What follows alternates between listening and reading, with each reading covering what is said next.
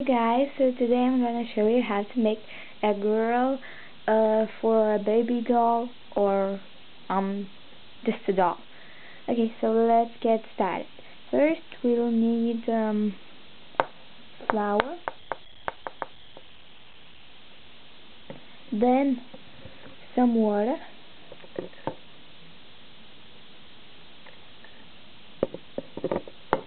a plate I have a baby born plate um, and a little spoon. Okay, so let's get started. Um, put some flour um, in the plate, but not all of that. I don't know how much I had it, but here is how much you need to pour in. Then pour some water.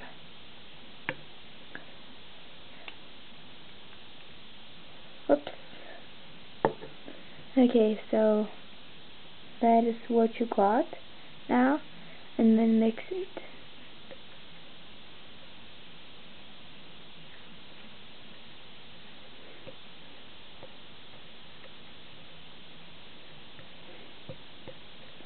It's too sticky and we don't have much. So we put more flour and more water. We put it too much. Maybe that's okay. A little bit put in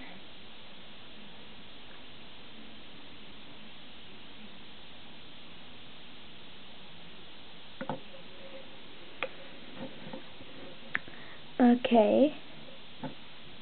Um, and now put some water in.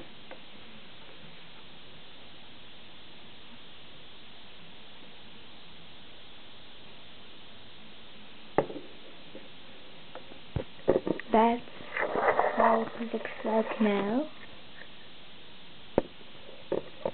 But later it will be normal. it's too sticky so we take even more water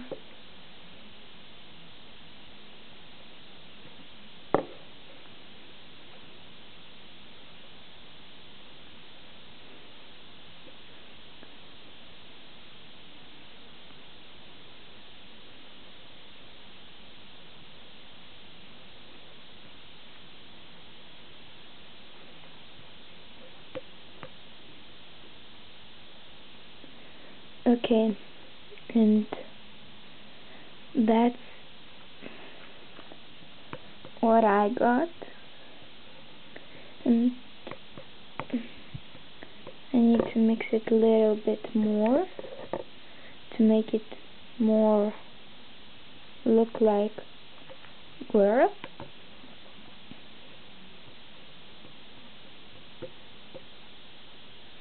I think it's now good. Okay, so here is what we got. It's really cool. It's like white color, like milk, and um, it's very good for a baby born. And you don't need to buy like special one. So yeah, hope you enjoy. Bye guys.